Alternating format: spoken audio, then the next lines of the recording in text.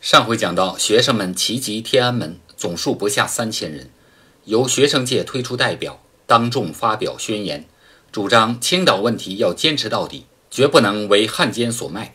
宣言书是这么写的：“呜呼，国民，我最亲爱、最敬佩、最有血性之同胞，我等含冤受辱，忍痛被构于日本人之密约微条，以及朝夕祈祷之山东问题。”青岛归还问题，今日已由五国共管，降而为中日直接交涉之提议矣。噩耗传来，天暗无色，夫何以正开？我等之所希冀、所庆祝者，岂不曰世界中有正义、有人道、有公理？归还青岛，取消中日密约、军事协定以及其他不平等之条约，公理也，即正义也。背公理而逞强权，将我之土地由五国共管，柴我于战败国如德奥之列，非公理，非正义也。今又显然背弃山东问题，由我与日本直接交涉，夫日本虎狼也，既能以一纸空文窃掠我二十一条之美丽，则我与之交涉，简言之是断送耳，是亡青岛耳，是亡山东耳。夫山东北扼燕晋，南控鄂宁，当宁汉津浦两路之冲，实南北之咽喉关键。山东亡，是中国亡矣。我同胞处此大地，有此山河，岂能目睹此强暴之欺凌我、压迫我、奴隶我、牛马我，而不作万死一生之呼救乎？法之于亚鲁萨劳连两州也，曰不得之，吾宁死。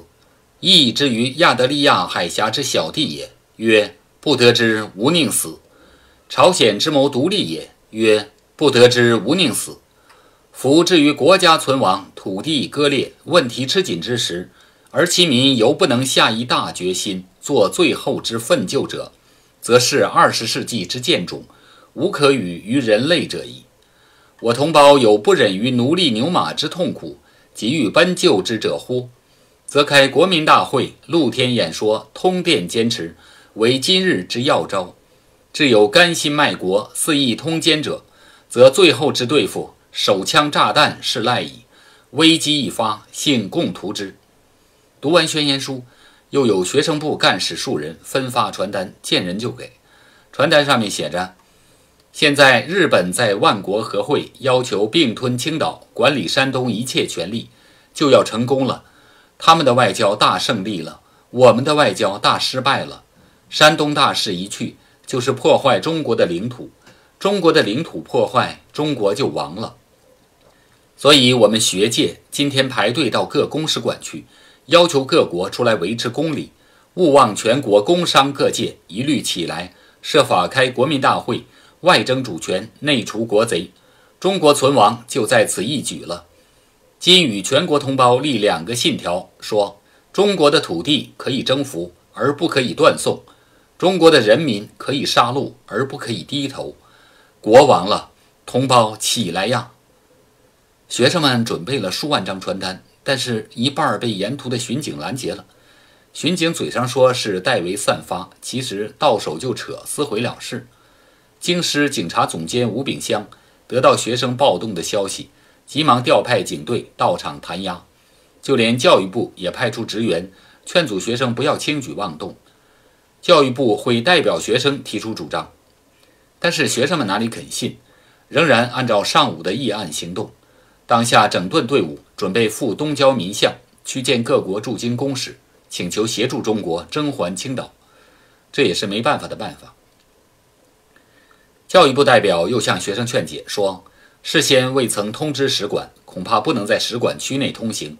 尔等不如暂先归学校，举出代表数人，方可往见外使。学生们听了又不肯认同，仍然向东前进。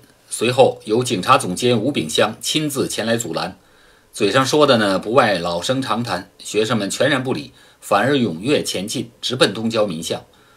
吴炳湘见学生人多势众，也不敢犯众怒，只好眼睁睁地看着他们过去。学生团拥入东郊民巷，来到美国使馆前排队伫立，推举罗家伦等四人为代表觐见美国公使。刚好美国公使不在馆中，有翻译出来问明学生来历。罗家伦做了简单介绍，翻译答称：“今日礼拜，各公使拒不在馆。诸君爱国热诚，当代向美公使转陈。”罗家伦等鞠躬道谢，并取出请愿书交给翻译，然后退出。随后又去英法各使馆，果然各国公使均已外出，都没见到，只好将请愿书递交进去。当路过日本使馆时，使馆的安保人员来索取中国政府护照，说没有护照不准通行。学生团无可奈何，又不好违法通过，便由东向北，穿过长安街及崇文门大街。直奔东城赵家楼的曹汝霖住宅，快到门前时，学生团全体大呼：“卖国贼曹汝霖，速来见我！”看门人当然惊慌，立刻将双门紧闭。附近的警察不得不为曹部长帮忙，调集了数十人在门前警戒。学生团到了之后，就上前敲门，警察出面拦阻，但是压不住学生的锐气，一言不合便起了冲突。警察寡不敌众，也无能为力。学生们绕着宅子走。看见屋后有几扇窗子，就捡起地上砖头往里扔，把玻璃全打碎了。然后又拿着小白旗，纷纷扔进屋子里，扔到屋顶上。曹宅顿时变成一片白色。门口那些敲门的学生还在乱敲乱喊，敲了好一阵子也不见开门。学生们正要另想办法，忽然哗啦一声，前门大开，学生团乘势闯进去，到了大厅，喊曹汝霖出来。等了一会儿，没有人出来，环顾左右。也不见有曹家的仆役，只见厅上摆设整齐，所陈桌椅多是红木紫檀制成。学生们不禁动怒，一起说：“这都是卖国贼的回扣，得了若干昧心钱，制成这般物件，看汝卖国贼能享受几时？”说完，就有几个学生搬起桌椅扔到大厅外。大家一看有人动手，就一拥而上，把大厅中的陈设毁坏了很多。大厅旁边有一条甬道。学生们顺着甬道往里走，原来这是通向曹家花园的。当时正值初夏，日暖风和，花园内呢花木峥嵘，红绿相间，别有洞天。还停着两辆汽车，大家看了更生气了，七手八脚把汽车砸了。再往里闯就是内厅，有几个东洋人与一个穿东洋服装的中国人悠然坐着，跟没事人似的。有几个学生指着那个中国人对大家说：“他就是张宗祥。”于是大家纷纷上前跟张宗祥理论，说：“你就是张公使吗？久仰久仰。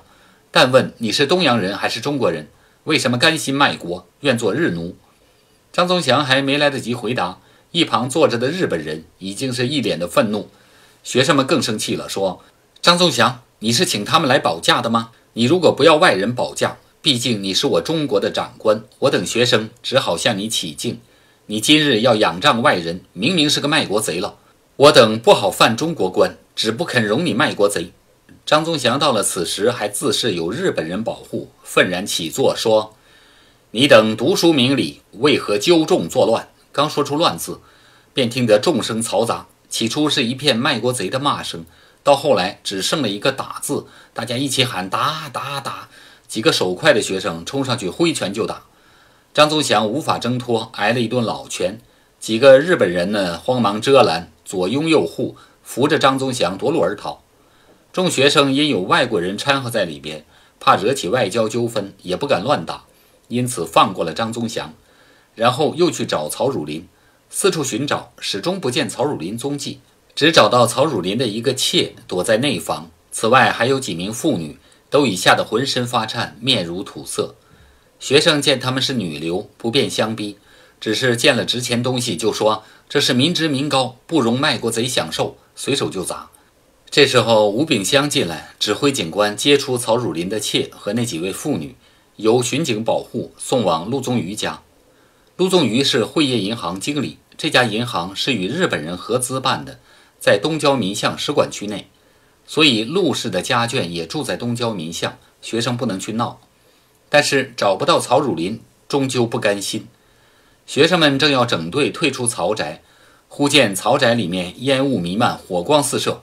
学生急忙退出，门外已经聚集大批军警，冲进去救火，并对着学生放空枪。学生们也有点慌，冲出曹家大门，分头归校。其中有些年纪小、跑得慢的学生，比如易克仪、曹允、许德恒等十九人。竟被巡警抓去关在警察厅，学生们回校后清点人数，北京大学被抓的最多，在十九个人当中占了一大半。于是大家又怒了，集中到法科大礼堂继续开会，要去保那几个人出来。校长蔡元培也到了，有学生向他报告了事情经过，说学生虽感动义愤，举止未免鲁莽，若云犯法，学生实不甘承受。警察擅自捕人，叔叔无礼。况曹彰两人受此挫折，未必甘休。既与日本人勾结，又与军阀派有密切关系，必要借着外人压迫与军队蛮横，罪我无辜学生纳入刑网。恐被捕去的学生将遭毒手，务请校长设法保全。蔡校长也不免踌躇。学生们纷纷出谋划策，说不如齐赴警察厅与他交涉。蔡校长摇头说：“这却不必。学生既非无礼，警察厅亦不能盲从权罚，违背公理。汝等且稍安勿躁，待我往警察厅探明确信，极力转还便了。”说完便出门了。那么曹汝霖究竟跑哪儿去了呢？那一天他本来也在家中，与张宗祥等人在密室叙谈。忽然学生们来了，呼喊声震动内外。曹汝霖料知来者不善，先令守门人把大门紧闭，避避风头，同时叫人去看后门，准备跑。可这时候呢，后边也全是学生，砸碎玻璃窗，投入小白旗，气势更凶，没机会跑。曹汝霖眉头一皱，计上心来，索性开了前门，放入学生，自己乘机从后门逃掉。反正客厅里有张宗祥和几名日本人坐着，就借他们做挡箭牌好了。等学生们从前门闯入，开始砸东西的时候，曹汝霖跑到后院，又怕后门外还有学生把守，就选了一段比较矮的墙翻出去了。翻墙时把腿摔伤，由家人扶着跑出一段距离以后，叫了一辆骡车逃到六国饭店。他的妾不能跳墙，只好返回房中暂时躲避。之后学生打伤张宗祥，张由日本人保护，逃出曹宅后门后。然后送往日华医院治疗。至于曹宅起火的原因，说法不一。有人说是学生放火，有人说是学生击碎电灯造成短路，有人说是曹宅的家人自行放火，企图抢劫财物，也有人说是曹汝霖在逃走的时候授意家人让他们纵火，这样既可以嫁祸学生，又可以借此招来军警驱散学生。总之呢，这把火究竟是怎么烧起来的，没人说得清楚。起火以后，曹宅附近的东堂子胡同、石大人胡同一带人山人海，拥挤不堪。保安、警察队、步军游击队、消防队、各救火会等等纷纷赶来救援，不一会儿就把火扑灭了。学生们相继撤走，巡警乘机抓了十九人。张宗祥到了医院，又气又痛，又愧又悔。他从日本归国时被留学生嘲讽，心中已经很不高兴。到了天津。妻子还因为这事儿跟他翻脸，不愿意随他入京，他只好将家属安顿在天津。也幸亏如此，才没连累家人。他独自来到北京，暂时住在总部胡同魏某家里，每天既要跟曹路等人密商隐情，又要应酬一班老朋友，忙个不停。五月四日这天，应故人董康的邀请去赏花，于是来到法源寺董家。午餐后告辞。因为时候尚早，路上又听说各校学生集会的事，于是顺路到赵家楼找曹汝霖商议抵制学潮的办法。刚好有日本人在座，大家便共同讨论。不料学生打上门来，自己待人受过，被痛打一顿。曹汝霖反倒跑了，叫他如何不恨，如何不悔。别人见他神志昏迷，不省人事，还以为他是身负重伤，已经晕厥。其实他是一肚子委屈，气到发昏。医生给用了药，才慢慢清醒过来。接着有许多朋友入院探视，张宗祥托几个好朋友把他被打的事情呈报中央，而且叹息说：“中国近年以来累借外债，岂止我张姓一人经手？而且主张借债自有总统、总理负责，我不过代为帮忙，怎得遂指我为卖国？但我平心自问，亦略有过处。”我以为段合肥等携着武力政策，定能统一全国，所以热心借债，甘任劳怨。哪知一般武夫拿钱不做事，除正饷外，今日要求开拔费若干，明日要求特别费若干，外款随借随进，国家仍不能统一，遂至酿成今日的祸祟。